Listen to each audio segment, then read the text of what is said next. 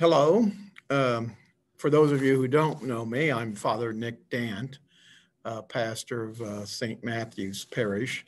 I would think most of you know me by now. I've I've um, uh, done some of these before. Uh, that was last year's class, um, but uh, I think you've seen me before. I I, I was um, I, think I did in an enrollment rite or uh, with all of you uh, at some at some point in this process of your preparation uh, for um, uh, uh, for uh, the sacrament of confirmation. But to, the, what we're going to talk about with this session is is two things: one, the Nicene Creed; two, the four marks of the church. And we'll talk about the creed first because of the fact that uh, uh, uh, it lists the four marks of the church uh, in the creed. And I thought that just seemed rather logical to talk about the creed first and then proceed into those elements that it talks about. Uh, the four marks are named at the very uh, third section of the creed is kind of in three different sections with the Father, the Son, and then the Holy Spirit. And we confess that we uh, believe in the church, the Holy Spirit, and the church at, at that third section. Um, I think I think a thing I think we need to keep in mind is that uh, uh, the creeds um, are uh, the way church expresses and hands on its faith. Um, and the church has had creeds since its earliest days, going all the way back uh, at least to the latter part of the first century. And Christianity began around the year 33 after Jesus died and rose from the dead. And then as the time went on, they got closer to the end of that first century. Christians has felt a need that we have to uh, have some kind of way to be able to express our faith and and and to kind of name that faith, what we believe in, especially when we bring new people into the church and we help form them in the faith, and so we know uh, that uh, uh what we're handing on to them uh, in the uh, in and when we when we form these people in the faith, when they bring new people into the church. Uh, this process to do, today we call the RCIA process, the Rite of Christian Initiation of Adults. And the way we teach adults today is basically uh, uh, um, constructed out of out of out of those articles of faith that we believe in that we named in the creed. In the earliest days of the church, they had several uh, different communities, different churches throughout the eastern part of the Roman Empire where the church began. Each community or an area with several communities might form a creed uh, or have a list of beliefs that uh, they would have uh, the uh, uh, candidates ready to profess as they get ready to baptize. And so there were different creeds. The most ancient one we have that's still extant, that means still that we use, uh, is the Apostles' Creed. Um, the Apostles' Creed uh, goes back at least to to uh, the second century, uh, and it was it was formed as a baptismal creed to be professed by people before they were baptized. Uh, mainly adults in those days because the church was still getting off the ground and and many many converts were coming over to the church from paganism and and uh, uh, the what we now, as I say, call the RCIA process uh, would have been a major focus of the church, of the early church, and and trying to establish and get the church uh, a solid foundation and get off the ground. Um, so they would use the Apostles' Creed as their baptismal creed, which basically lists those 12 articles of faith that we uh, that we believe as as Christians, and uh, uh, I think uh, uh, when we talk about beliefs, when we um, and we mean our own creed, whether it be the Apostles' Creed or what we now call the Nicene Creed. And I'll say a few words about the Nicene Creed. The Nicene Creed you're familiar with because we profess it every Sunday when we celebrate Mass. Now, during the Lent season of Lent and Easter, we may uh, uh, some parishes they're allowed to the church encourages it that we use the apostles creed during lent and easter because our focus is on baptism and bringing new people into the church at the easter vigil. Uh, and since the apostles creed is considered the baptismal creed as i said of the early church the church says uh, be a good idea for us during this season to recite that creed instead of the Nicene Creed at Mass. And a lot of parishes do this. You do not have, to, uh, a parish does not have to use the Apostles' Creed. You can always use the Nicene Creed, uh, but the church wants us to be aware of our roots. Uh, the Nicene Creed, uh, when I get into it, is basically an elaboration um, on a more detailed scale about our uh, those 12 articles of belief that we have in the Apostles' Creed. Uh, they are, in a certain sense, explained more and delineated more. Um, but I think we have to realize that beliefs are uh, can be foundational and beliefs can be, have changed over time when we're talking about two different styles of belief. By foundational beliefs, uh, we mean those beliefs that uh, we consider to be true foundational of our life and those things that we hold to give us solidity uh, in in our life uh, that we stand upon. Things like I believe in God. Uh, that belief is not going to change. I believe my family loves me.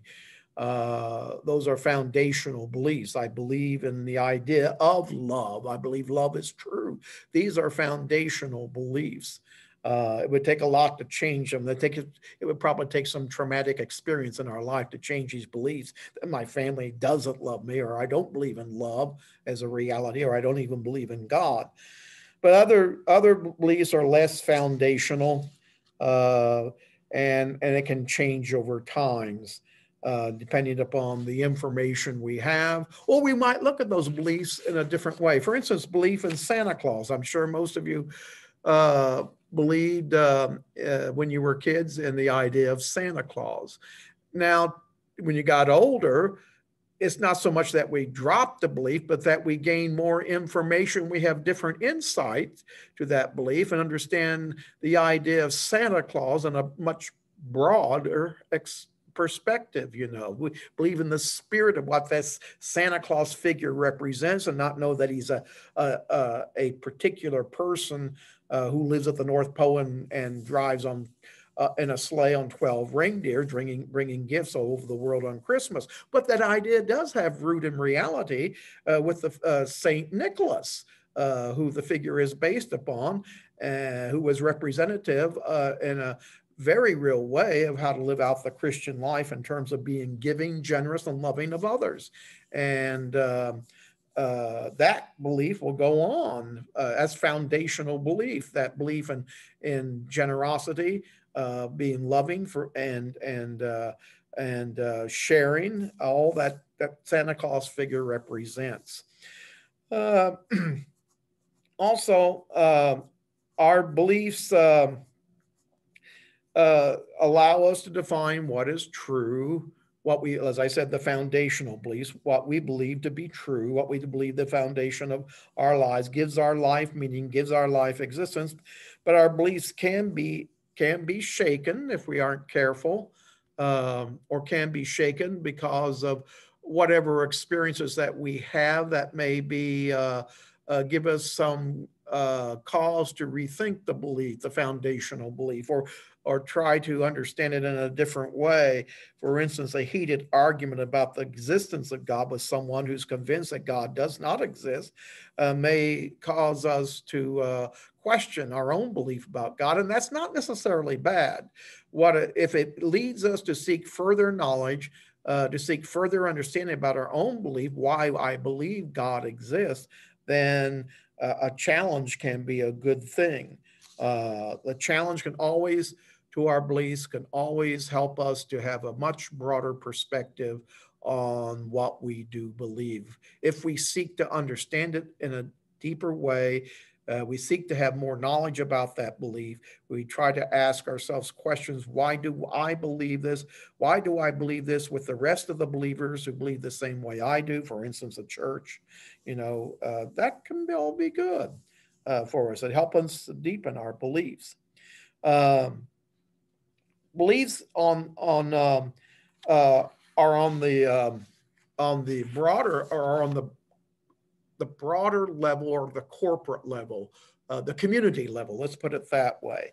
Uh, uh, for instance, uh, companies have statements of belief. We call these uh, mission statements. Parishes have mission statements. We have a mission statement here at St. Matthew's.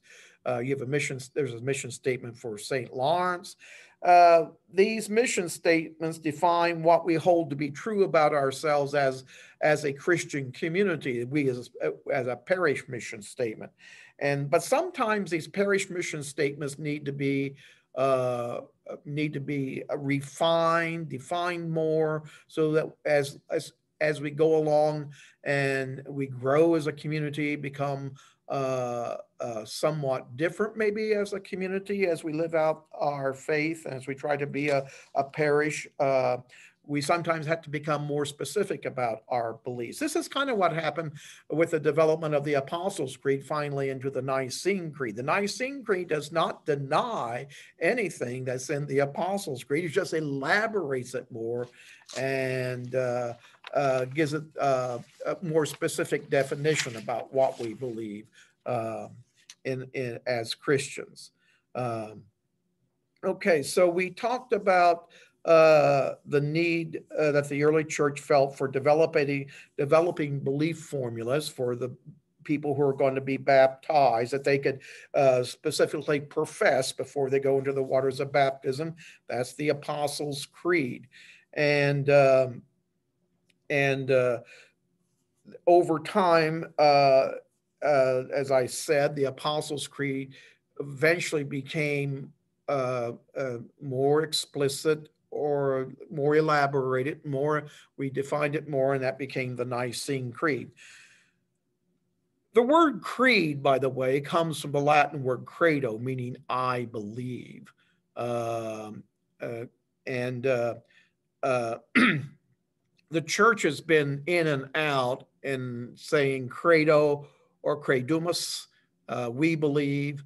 Uh, early church always said we believe as a community, and most of you are not old, old enough maybe to remember this, but before 2011, uh, we always uh, said, at least since the Vatican Council II, when we uh, again reformulated the language of the of the Apostles and Nicene Creed, uh, then and the Vatican Council happened in 1962 to 1965. We went back to the more ancient formula of the early church, and we said we believe, we as a community believe together. Now, at at the right around 2011, when we reformulated the the language of celebrating liturgy, our public worship, the Mass, the sacraments, the church thought, hmm, uh, we need to challenge people to say that not only do we believe, but they really personally believe what they're saying. So the church went back to, uh, uh, in the Latin translation, credo, which means I believe, and we translate that as I believe. Now, that doesn't mean that I believe alone by myself. It means I believe in communion with the rest of my Christian brothers and sisters who are members of the church. I believe this. I believe this about the Father, the Son, and the Holy Spirit, and, and so forth, and the creed. Uh, so that just gives you a little background about, about what the word, where the word creed comes from, comes from the Latin word credo, I believe.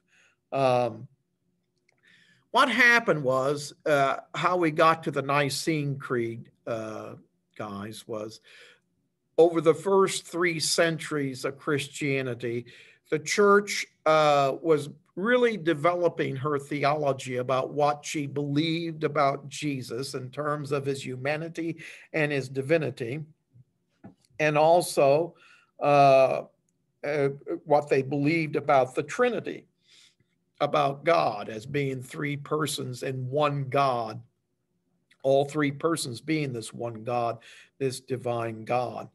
And uh, she, she, never explicitly, uh, let's put it this way, for the first three centuries, was never fully defined, but the uh, early uh, the early century theologians were working with it and they had different nuances or ways of perspective perspectives of understanding what we mean by saying Jesus is both divine and human or Jesus is the second person of the Trinity, uh, what all this means. Uh, and uh, by the time the church came to the fourth century, the early part of the 300s, the church was dealing with, uh, uh, well, let's put it this way, she felt the need to define this and be more explicit about it because some she had been dealing with some heresies uh, over the three centuries in which she was trying to hammer out this whole idea of, of Jesus being divine and human, and the idea of, of this one God being in three persons Father, Son, and Holy Spirit. Two of the heresies she was dealing with one was the Gnostic heresy of the early church. The Gnostic heresy basically denied that Jesus was human, that he was completely spirit divine. He only looked like a man or kind of had on a man suit, I guess, or a human suit, if you want to uh, use inclusive language. Uh, he, uh, God was not really human. It only looked like it. Uh, and, or God never fully became human. And and this the church said this doesn't really express our belief. The early the fathers of the church are the the leaders of the church the bishops of the church. So this is not what we really believe that jesus only appeared as as or god the second person of the trinity only appeared as human and this person we call jesus. Uh, uh, is that uh, the, the idea the gnostics had was that evil was bad matter was bad uh, evil uh, and God would never become something that is evil. And then the father said, Why would God create anything that is intrinsically evil? Matter is not intrinsically evil. Flesh is not intrinsically evil. You, you, all of creation and reality material is not intrinsically evil. We may be sinners and fallen and broken, but we're not intrinsically evil uh, we are intrinsically good. This is that we have misused what God has created and became sinners. We've entered, we have introduced the element of sin in our lives uh, by the way we human beings have behaved. So they wanted to they wanted to make it clear that we do not believe what the Gnostics believe, uh, denying that Jesus was human. Now, the other the other heresy they were dealing with was by a priest named Arius. He was from uh, Egypt, I believe if I'm correct, uh, right before the uh, 300s came on the scene, or the early part of the 300s. Uh, and Arius taught that uh, Jesus was not fully God. Uh, uh, I mean, fully divine. this is why we say in the Nicene Creed, we say God from God, but we not only end there, we say true God from true God, because Arius didn't deny that Jesus was in some way divine, but he was kind of a sub God, um, um, is what he was. Uh, and uh, uh, and uh, and he put much more emphasis upon the fact that Jesus was a creation of the Father. Uh, as if the Father created him and and and and uh, created this person that we we call Jesus of Nazareth, uh, who we believe has some relationship with God, but he's not God in the sense that God, the Father, is God, the true God. Uh, Jesus is only kind of like under God or something like that, kind of a sub God, if you will. Um, so Arius was uh, denying, in essence, the full divinity of Jesus and, and emphasizing that he was a creature uh, of God, something created. Uh, and the church says at that time, dealing with all, dealing again with trying to redefine what she believes about what Jesus, who Jesus is as being divine and human, and says this is not what we really believe either. And we need to be more explicit about this and explain it better in the profession of faith that we have. So in the year 325, uh, the Emperor Constantine called a council of the bishops uh, the Emperor Constantine, by the way, is the one who gave Christianity its freedom uh, to be a, a, religion in the Roman Empire about the year 311, 312 AD with the Edict of Milan. And um, uh, and Constantine felt a responsibility for the protection of the Christian faith and that there be a unity in the Christian faith also, and that the divisions be stopped that were happening with the heresies that were going on about uh, the teachings of the church. So he called the council in 325 AD of those bishops who could make it to the council because you got to remember transportation was not exactly the fastest or quick in those days. It took about three months to get from Spain, one end of the empire, over to the eastern part of the empire, Nicaea, which was in Turkey. So a lot of bishops could not make the council, but uh, many bishops from the eastern part of the empire did make the council. And it did have the blessings of the Bishop of Rome at that time. So it's a legitimate early, uh, first considered the first ecumenical, ecumenical being Greek, worldwide council of the church. And it's at that council that they hammer out basically what we now call the Nicene Creed. Uh, and we profess at Mass. Another council called the Council of Constantinople, later on, Constantinople I, even refined this Nicene Creed further in terms of what we believe about the Holy Spirit uh, in that third section of the creed. Um, and sometimes you will hear the creed called the Nicene Constantinopolitan Creed. But basically, the framework of the creed was worked out at the Council of Nicaea, where we defined our belief of Jesus as being fully human and fully divine. It's a mystery we don't completely understand how, how God can be uh, how this how this person we call Jesus of Nazareth can be fully human and yet fully divine at the same time. But it's a mystery we believe in, and God can work mysteries beyond our understanding. He God lives in a realm of eternity, uh, which is uh, beyond anything we can understand or even imagine. Uh, if God can create a universe of 100 billion galaxies, he can certainly be able to bring about uh, a, a reality that is fully human and fully divine when God himself decides to become flesh in human flesh. So the creed tries to affirm then that that uh, Jesus is indeed divine. That is the Nicene Creed, spelling it out more. Jesus is divine. He but he is begotten. He is not created. That means that's his relationship with God. It's a begotten relationship. It doesn't exist in time. It always was.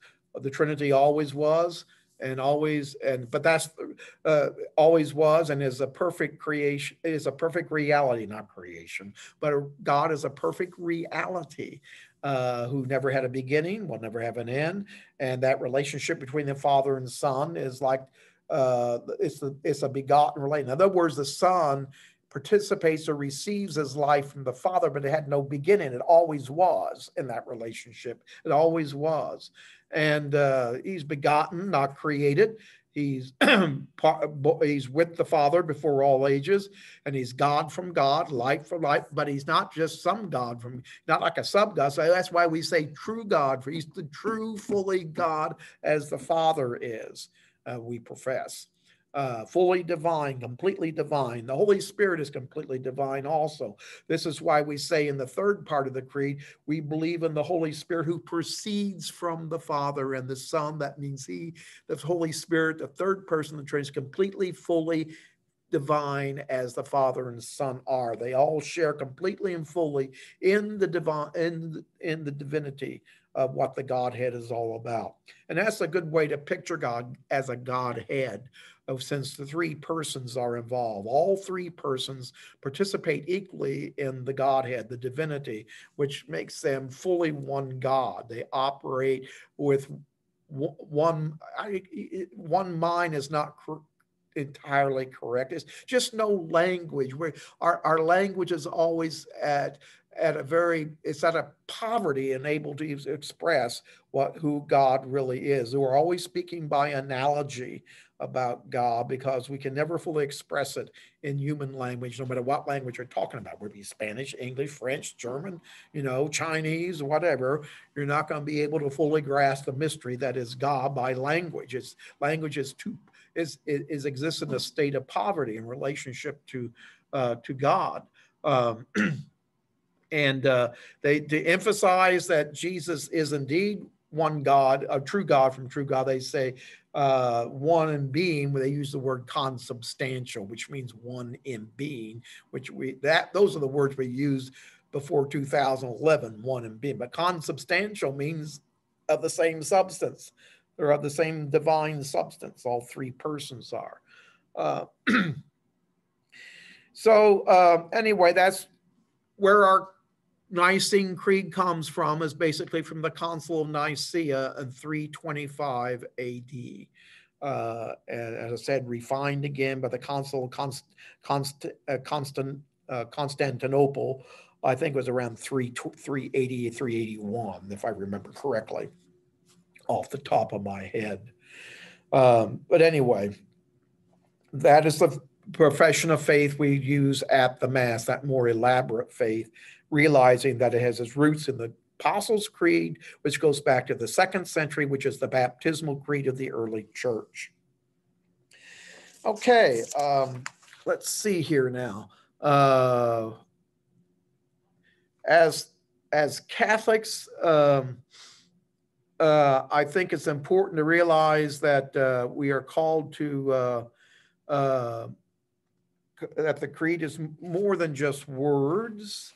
Uh, it, it, tends to express that which we believe. Those articles of faith, there are 12 in there, basically, uh, articles of faith, uh, and that we are called to, as confirmed Catholics, that means you become a full member of the Catholic Church. Confirmation is the last anointing of the baptism in the Western Church, that is the church, the Roman Catholic Church. We always have confirmation, usually done in relationship to the head of the local church, that is the bishop. So the bishop will have some word in your being a baptized Christian, confirming that.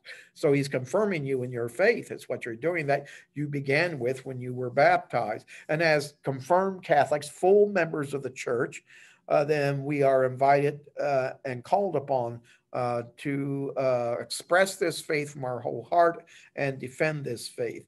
Um, and uh, we have a deeper responsibility now, being a full member of the church. We're taking this faith on. We say, "I believe." This is what you're doing when you when you become confirmed. You're saying, "I do believe everything that's here in the Nicene Creed." Um,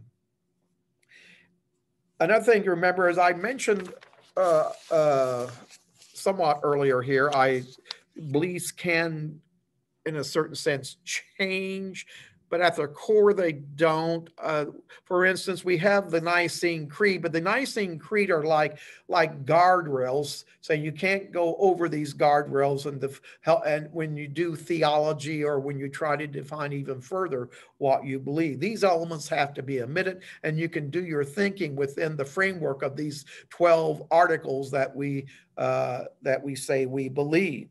Um, for instance, this is what theology down through the ages, a church is 2,000 years old, is all about trying to gain further insights into what we believe and how uh, we can become uh, uh, um, uh, uh more full in implementing what Jesus teaches and what our creed says we believe.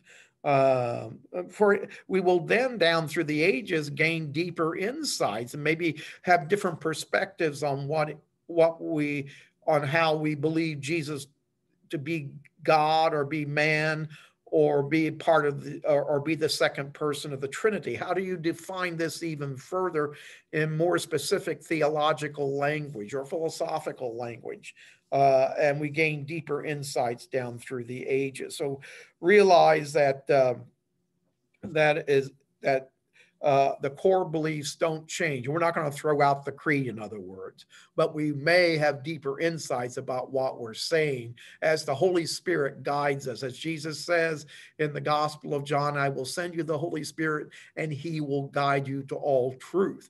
This will happen over the ages as the church fulfills her mission to be the, uh, the church in the world. And that opens me up then to talk about the four marks of the church, uh, which are um, de- uh, uh, delineated in, the th- in that third part of the creed where we say, I believe in the Holy Spirit. And then I say, I believe in the one holy Catholic and Apostolic Church. Those are the four marks of the church the one, the holy, the Catholic, the Apostolic. You know, the four marks one, holy, Catholic, and apostolic. This is what we believe about the church.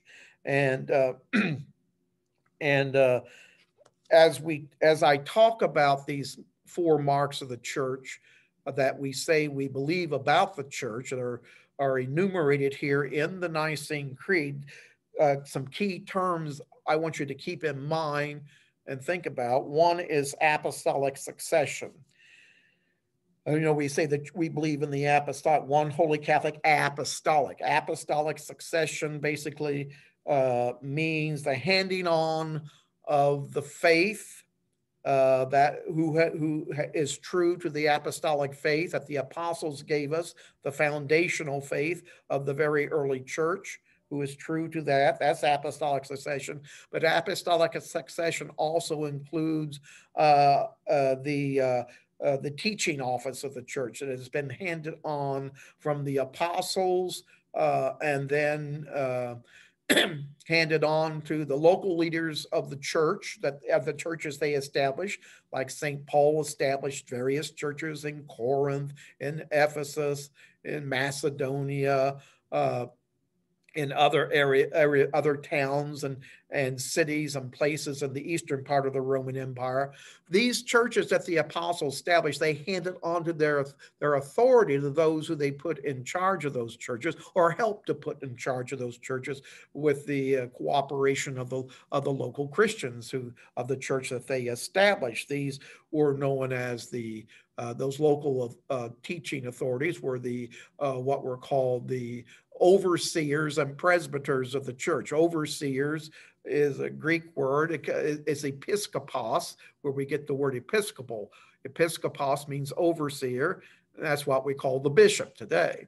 And then presbyter means an elder of the church. These were uh, they formed a council with the the overseer that oversaw the local church. And the presbyters, the elders, uh, became eventually called what we call the, the priest of the church. That's myself.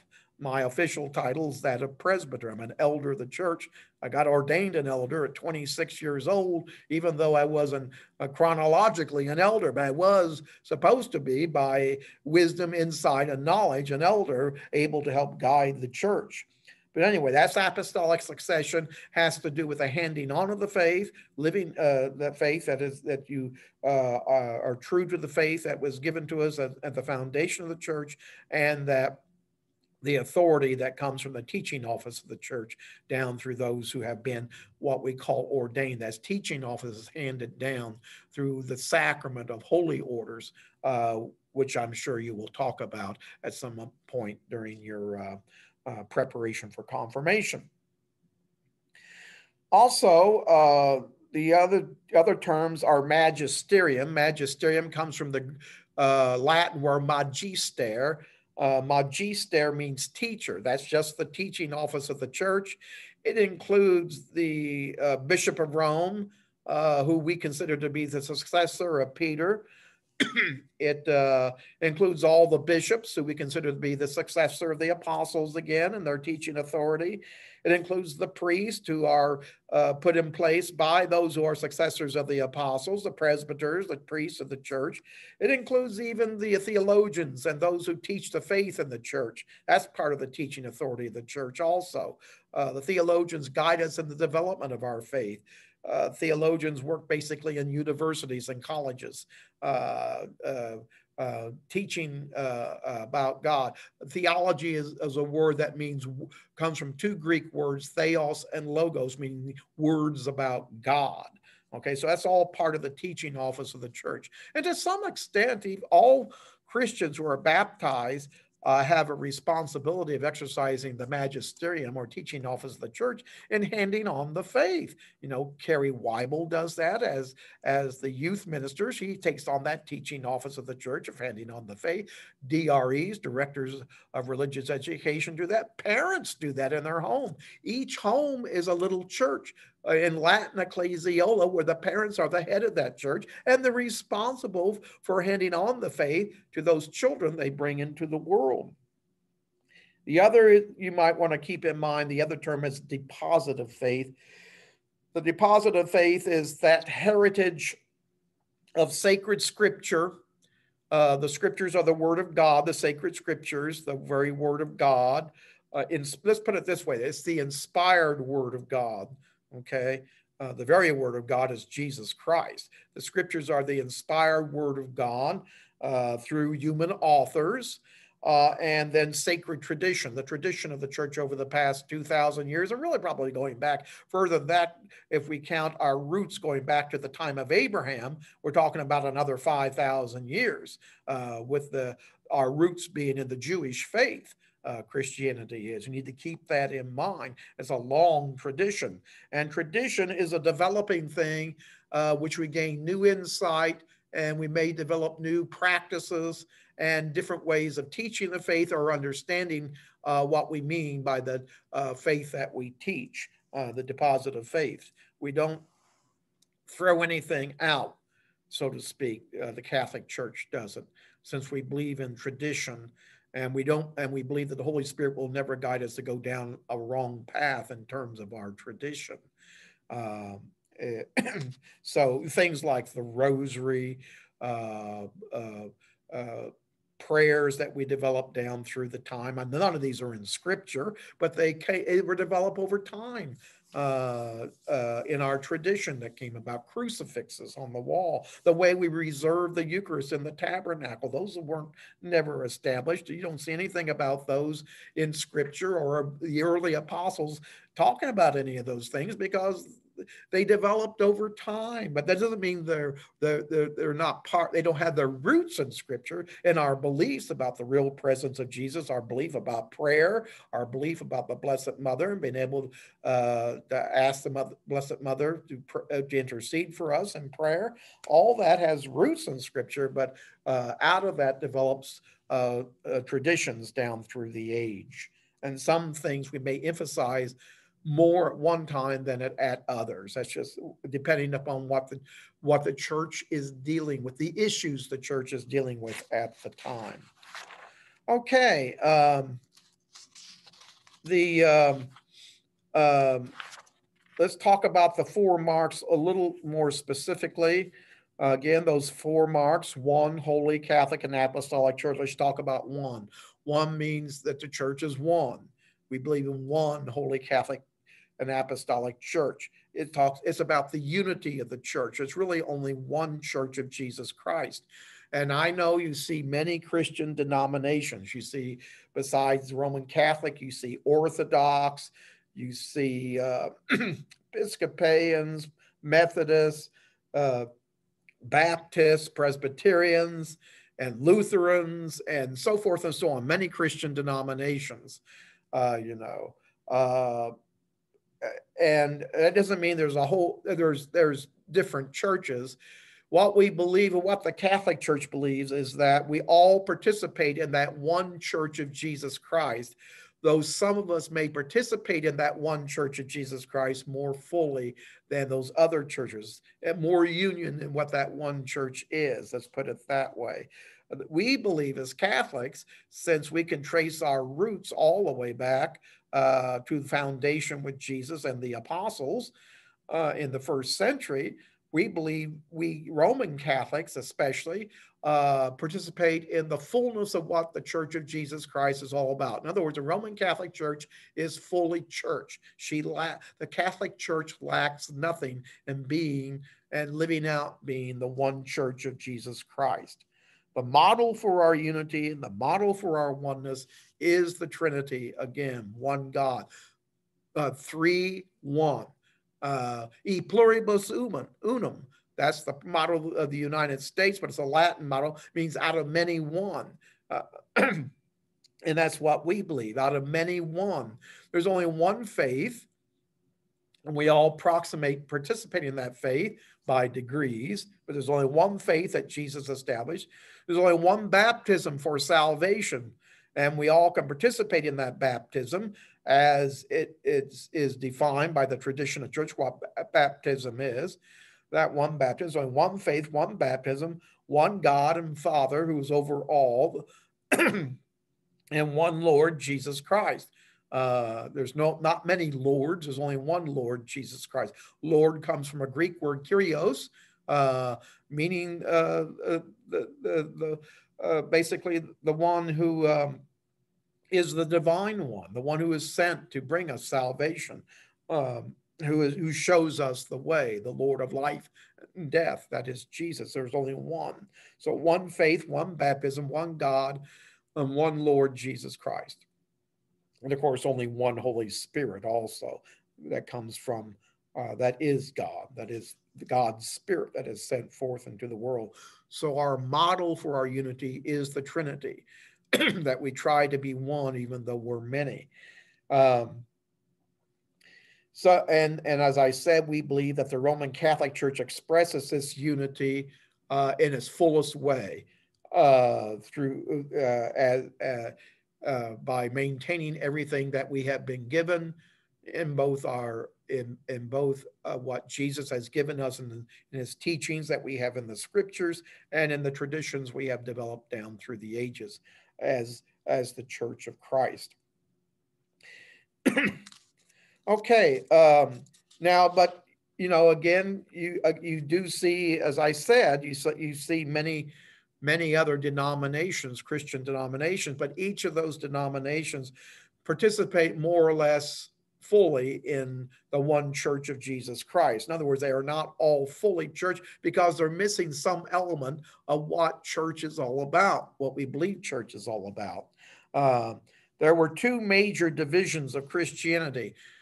We just mentioned that in the development of the Nicene Creed, they were dealing with some heresies, the Gnostic heresy and the, the Arian heresy, the early churches, a couple of them. But there were many small divisions like that in the early church and throughout the church down through the ages that were small and they dissipated or went away in one way, form, or another. But there have been two major uh, divisions in Christianity that still affect us today. The first major split in Christianity happened in 1054 AD between the Church of the East, what we call the Orthodox Church, and the Church of the West, what came to be called the Catholic Church, and later on with the moniker Roman Catholic Church.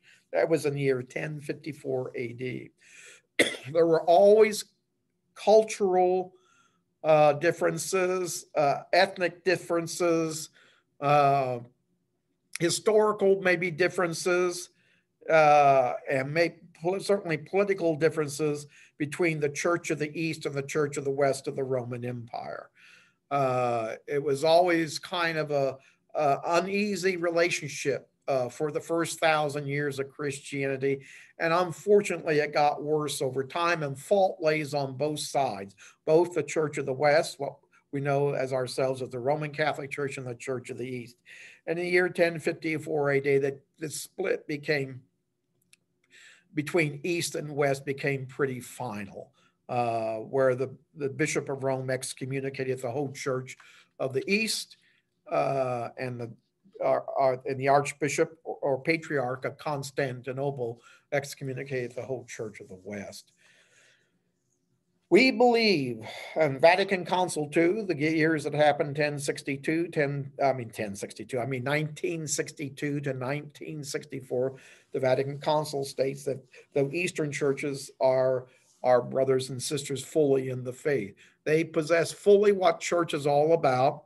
The only thing, the sacraments, the scriptures, everything. The uh, they have uh, the apostolic succession. They never get that never broke down in the Eastern Church. Their bishops are just as much successors of the apostles as the bishops of the Church of the West, the Roman Catholic Church, and they are fully churches. We call them sister churches, and we recognize the Eastern Church as sister churches, but they're not in full union with us because they are missing that element of relationship with the Bishop of Rome, who we believe to be the successor of Peter in his role uh, as uh, Peter's role as maintaining being the prime teacher of all all of uh, Christianity. Uh, that that was probably one of the major reasons for the division was our differences of understanding what the role of Peter was, uh, and not just Peter himself personally, but the they mean by Peter the bishop of Rome. What is his role? You know, in union of the church, is it an administrative role? is a, a leadership role that's different than administrative. Uh, and it's gone different ways down through history of understanding the role of the Bishop of Rome. Um, the West went one way in understanding what that role of the Bishop of Rome was. East went a different way of understanding that role, what the Bishop of Rome was. And but we see that since they gave up any kind of relationship with the Bishop of Rome, the churches of the East, we see them as missing that element that makes them as full uh, a representative of the Church of Christ in the world is the Western Church, that is the Roman Catholic Church in the world. The other major division uh, in Christianity happened in the Western Church, didn't happen in the Eastern Church, happened in the Western Church, the Roman Catholic Church in 1517 with the Protestant Reformation. And this is why you see so many uh, different denominations in the Western world. You know, as I just mentioned, churches as Baptists, as Methodists, Presbyterians, Episcopalians, Lutherans, uh, many in this country Pentecostal churches and uh, and uh, what they would call themselves evangelical Christians or or evangelical churches. You know, uh, it just it just once the Protestant Reformation happened in 1517, it kind of blossomed from there or just proliferated from there, so to speak, where Christianity and the Protestant world kept on dividing and dividing and dividing. Protestant world, uh, uh Protestant is a word that means protest. It happened in 1517, beginning with Martin Luther, who was a Roman Catholic priest in Germany, uh, expressing some disagreements with the way uh, that some of the teachings of the church had been presented at that time uh, and had some serious disagreements with some real bad corruption in the church at that time also. So the, the, the Roman Catholic Church is, is not, uh, is, is not, its hands are not clean uh, when it comes to the Protestant Reformation. There are fault on both sides for the divisions you see in Christianity right now.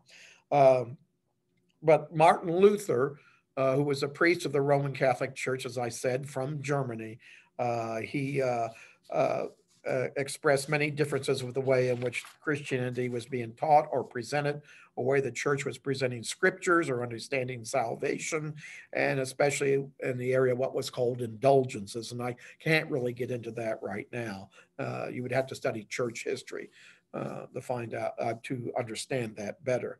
But nonetheless, that's when it began in 1517 and has flowered ever since or, or, blossomed ever since. That, that proliferated. Let's put it. That's a better word. Proliferated.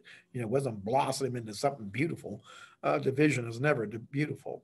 Uh, but eventually, in the 19th century, that is the 1800s, uh, and the I mean, excuse me, the 19th century, which is the 1900s. I made a mistake there. It's not the 18th. That's, that's the 18. 18 uh, Yes, that, the 19th century is the 1800s. I'm getting confused in my old age. Um, 1700s is 18th century. 19, uh, 1800s is, is the 19th century. And of course, the uh, uh, 20th century is the 1900s, which we just got out of. And now we're in the 21st century. But during the 1800s, the late 1800s, the 19th century, um, we um, uh, a movement began um, in Christianity, first in the Protestant world, to try to unite Christians in some way, to try to head somewhere we can get at some form of unity once again of Christianity, all of Christianity, including the Orthodox and the Roman Catholics. This movement is called the ecumenical movement. It's a Greek word meaning worldwide. And the Roman Catholic Church during Vatican Council II, again, 1962 to 1965, under Pope John uh, the 23rd and Pope Paul VI, uh, uh, gave a, a great emphasis on the Roman Catholic Church getting involved in the ecumenical movement. Not all Protestant churches are involved in the ecumenical movement, especially those Protestants who believe they have the only way to truth and everybody else is going to hell, so to speak. Uh, they don't want to get involved with the ecumenical movement. but the Catholics very much did want to with Vatican Council II. Pope John wanted to.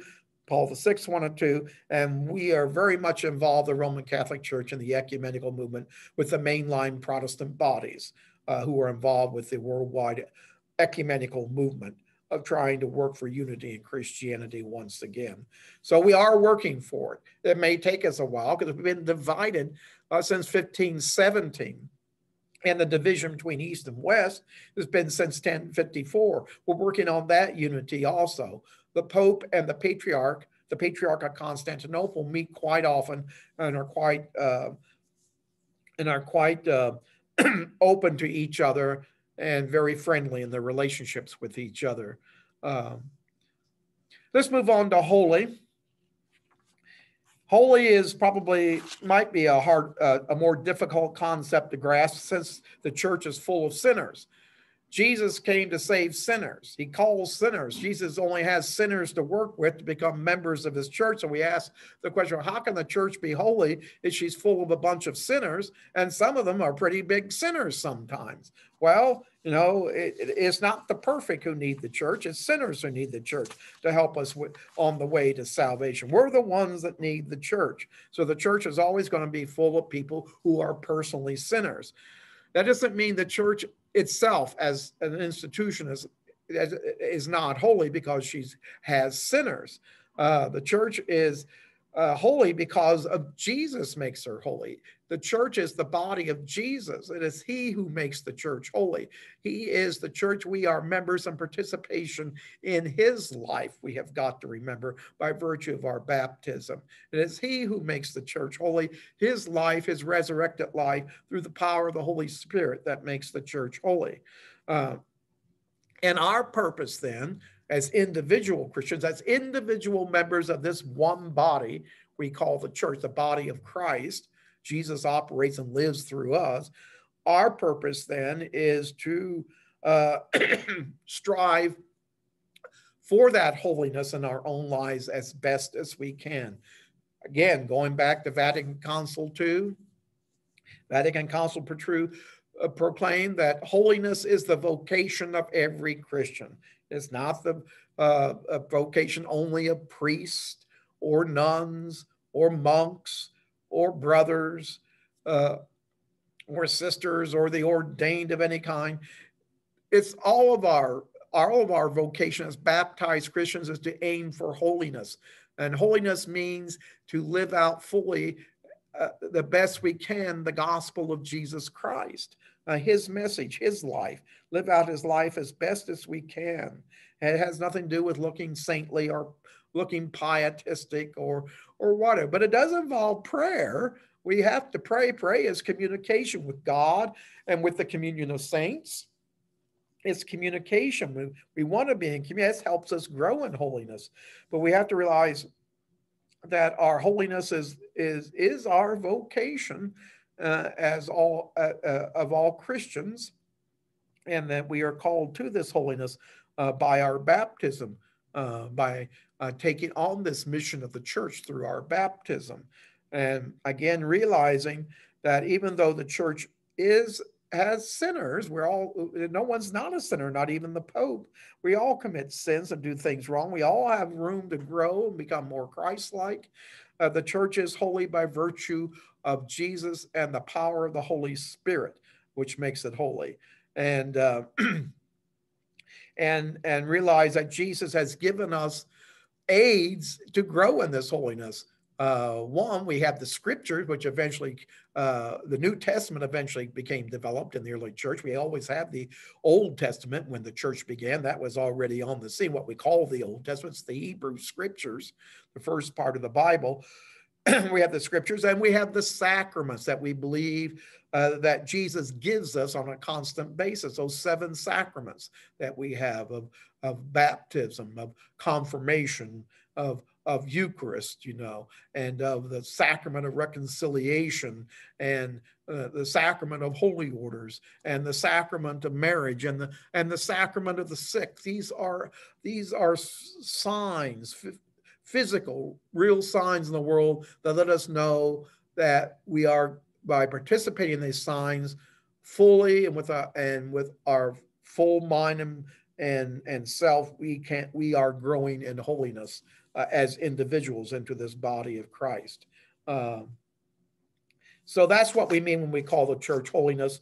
It's not the has to do with individual holiness of the members of the church, but with the holiness that Jesus and the Holy Spirit bestow upon the church, because it is a divine institution. The church is not a human institution. It is is Jesus and the Spirit. They will always be fully holy, and they what constitutes the holiness of the church, to which all of us individually strive. Also, the church is uh, called Catholic. Uh, that'll be the third uh, mark that we'll talk about. Uh, Catholic um, basically is a Greek word meaning universal. Um, uh, that basically means uh, that the church is worldwide or is meant to be worldwide. The church salvation is for everybody. Let's put it that way. It certainly has its roots in scripture. Uh, examples are given in the Gospel of Matthew with the story of the Magi. The Magi are Gentiles, they're not part of the Israelites, the chosen people of God at the time, which means that what's being stated here is that the good news, the gospel, salvation God offers to everyone, including those who are not have not historically been part of the chosen people of God, the Israelites. The church, in other words, is Catholic, is universal, and she is charged by Jesus to preach this message to the whole world. At the end of Matthew's gospel, Jesus says, Go and baptize all the nations, baptize all the nations in the name of the Father and of the Son and of the Holy Spirit. He sends them forth to all the nations of the world, Jesus does. That is the apostles and the church down through the ages. Uh, uh, therefore, since the church is Catholic and universal, uh, her message is for the whole world. Salvation is for the whole world.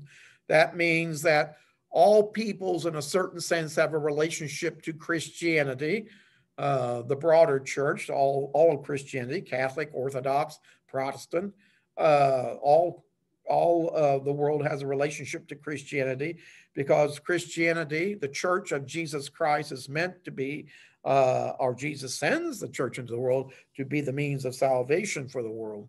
Uh, so that means that those, uh, that means that those who are, um, uh, who certainly uh, are in union with us in baptism, all of our Christian brothers and sisters, uh, and are in union with us in the creed. All Christians profess the Nicene Creed, whether it be Orthodox, Catholic, and Protestant, uh, have and are in union with us in in some of the sacraments and in in the way an apostolic succession.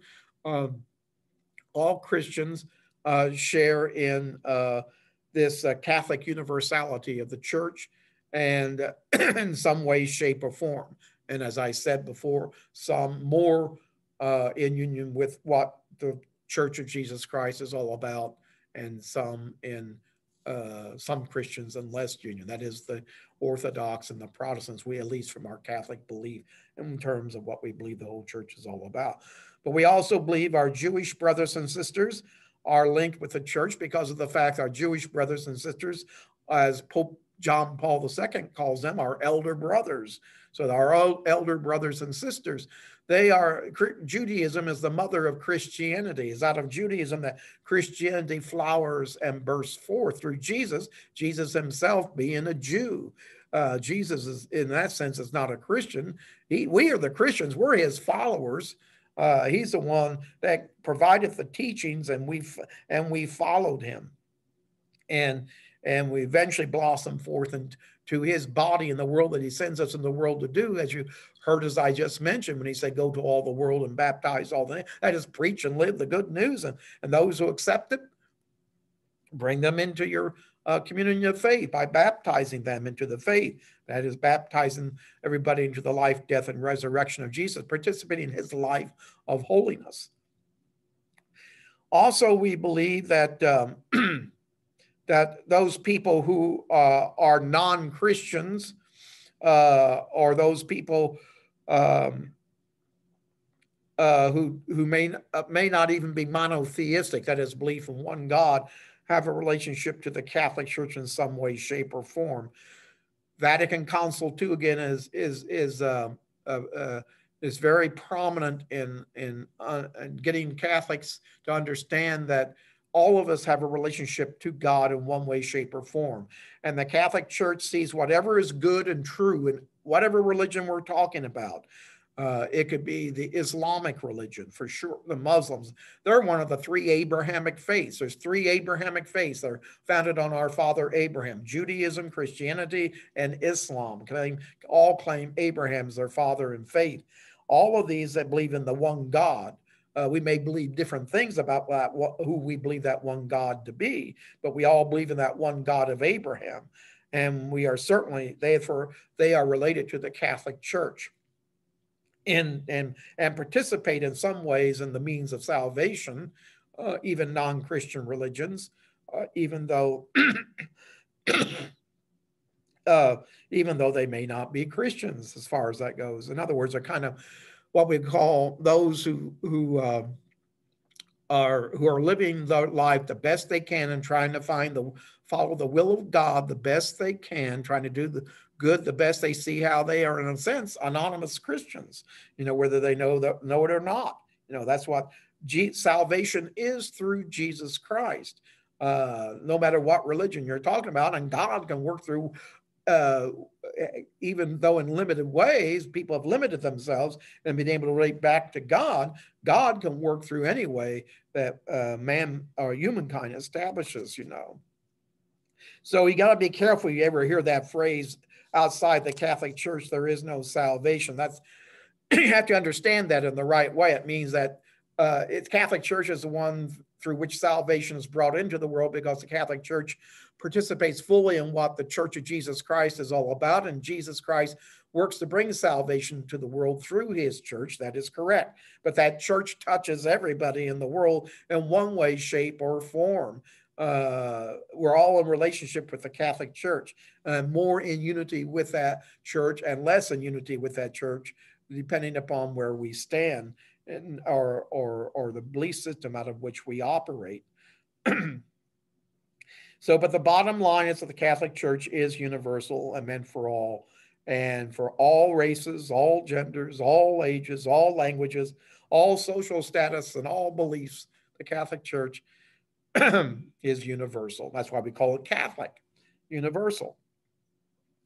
Finally, the fourth mark of the church is that of apostolic, and we've already mentioned something about that as eh, apostolic because our foundation is upon the apostles of the church, which includes the 12 apostles that Jesus called, but also other apostles who were not part of the 12. Uh, St. Paul was an apostle, St. Barnabas was an apostle, but they were not members of the 12, the original 12 apostles. Apostle in the early church was a ministry, a, a specific ministry in the early church, much like bishop and priest today. The the the the the the, uh, the quality or the uh, or the uh, uh, the requirements for being an apostle basically where yet you had to have an experience of the risen Jesus at that time. These were the people who had the direct experience of the risen Jesus. Remember, Paul had that direct experience of the risen Jesus on the way to Damascus when he was going to persecute Christians, and he encountered the risen Christ, who, in a certain sense, shocked him into becoming an apostle for this faith that he was persecuting. Eventually, that ministry kind of died out, I guess you could say, the specific ministry of apostle and the and the ministry that the apostles had of, of teaching, that teaching authority, devolved upon the leaders of the local church communities, which eventually became the priest, or uh, a better way to put it would be the bishops first, who are the overseers, and the priests, who are the presbyters, and including deacons. Uh, deacons were established even before priests. Deacons, a Greek word meaning uh, being of service, a servant. Because uh, if you remember in the Acts of the Apostles, uh, the uh, the apostles established a diaconate or ministry of service first, before a ministry of eldership or being members of a council that runs a local church. That'd be the presbyters, the elders.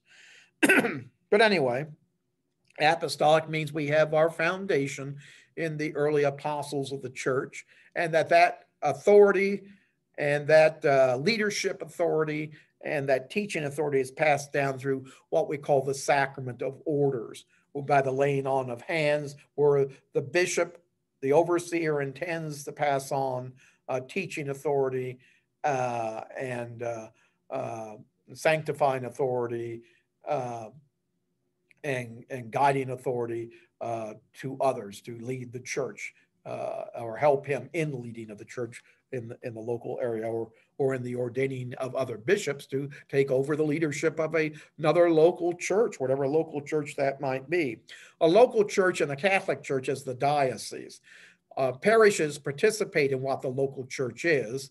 Uh, a parish is, is, strictly speaking not a church because uh, church, it, it, for a Catholic perspective, has to include the fullness of, of the ministry, which includes bishops, priests, deacons, and then all the people themselves, uh, those involved in consecrated life, the religious life, and those who are lay people. All that has to be present for there to be called a church. So it's, it's the diocese is the church, and parishes are are divisions of that church so that the bishop can have a way of administering that church as he can't be everywhere at once. Therefore, he sends out the presbyters, that is the priest, to uh, head up these parishes, uh, so to speak, to be leaders, these shepherds, these parishes, a better way to put it. Another way I mentioned of being apostolic is that of the faith itself that the handing on of the apostolic faith that is rooted in the apostles who laid the foundation for the early church. We call this the deposit of faith. Doesn't mean the deposit of faith we have now is is I, it, it's not changed, but it's, I don't say you can see it's added to, but it has grown in terms of its understanding. The deposit of faith, because of tradition in the church for the last 2,000 years, is much larger than what the apostles originally handed on through greater insight, greater study, greater reflection on the scriptures, great, greater knowledge that we gain about our relationship with God. And this is the deposit of faith and is handed on uh, through those who are participate in the ministry of leadership by apostolic succession. And we call the teaching authority of the church the magisterium. And I already talked about the magisterium, how uh, even we who, even those who are lay people in a very real way participate in the magisterium of the church also. In the magisterium or the apostolic succession, we consider the Pope to be important. Uh, the Roman Catholic Church consider that is one of the elements of what the fullness of church is all about, that you have to be in union with the Bishop of Rome who succeeds to Peter's ministry. you say, what is Peter's ministry? Well, Peter's ministry was that one of trying to maintain unity in the church, helping the church remain one. It's called the ministry of primacy. He had the primary responsibility for seeing over the teaching of the faith. Uh, it's also called the ministry of charity for the sake of service to all the churches. That is what we call dioceses today, all the churches, you know, and and and and his ministry was primary in doing this. And we consider the Bishop of Rome to succeed. You say, why is the bishop, why not some other bishop succeed to the role of Peter?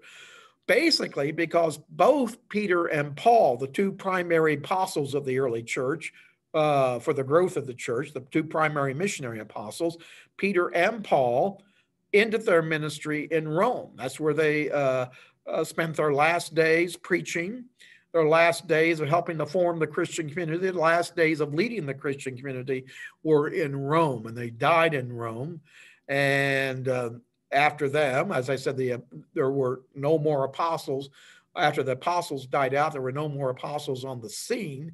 So the Bishop of Rome, the Church of Rome, uh, because it has apostolic foundations and Peter and Paul, the two chief apostles, always considered that the that the episcopos, the overseer of the Church of Rome, succeeded and even the Church of Rome itself, in a very real extent, succeeded to the role of Peter in leading the other churches and maintaining unity in the uh, Catholic Church throughout the world, whether it be the Church of the East or the West. And as I said, the East and the West had different ideas on how that's kind of going to be exercised. Uh, one more reflection on the role of the apostles, since we believe in apostolic foundation. Uh, as I said, the apostles as a specific ministry eventually died off on the scene. And that role was in a very real and specific way taken over by the leaders of the local church, the episcopos, the overseer, the bishop, and the presbyters, the priests. Um, but in a, the word apostle means to be sent. The word disciple means the one, it means a person who's in the process of learning, a student, if you will.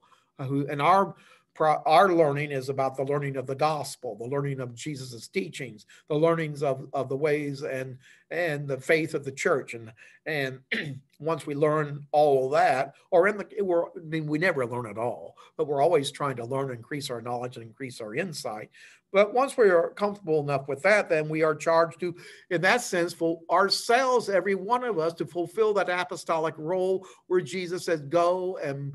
And proclaim the gospel to all the nations of the world. We all, in that sense, the ministry of apostle has devolved upon the whole church. All of us have the responsibility uh, of, of, being sent, uh, going forth and proclaiming the good news. In baptism, Jesus calls us and forms us into his body, the church, and in the sacrament of the Eucharist specifically, Jesus sends us forth then strengthened by his life that we received in baptism through the Eucharist to go and proclaim the good news to all the church.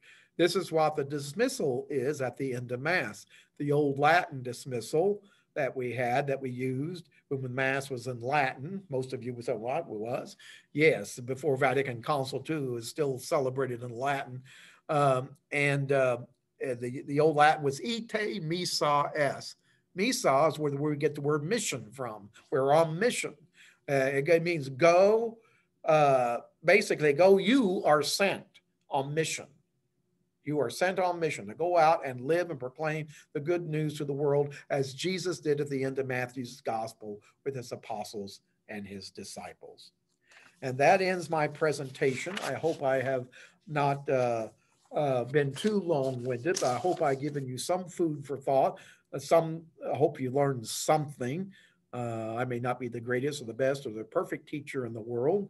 I certainly have enthusiasm for what I preach uh, or what I teach, and certainly what I believe as a Catholic Christian. And I, uh, it's, it's, it's, a great treasure, and I'm always happy to try to hand it on. And I hope you are also once you become confirmed and, and do what you can to be uh, faithful witnesses uh, and living members of the body of Christ. So thank you.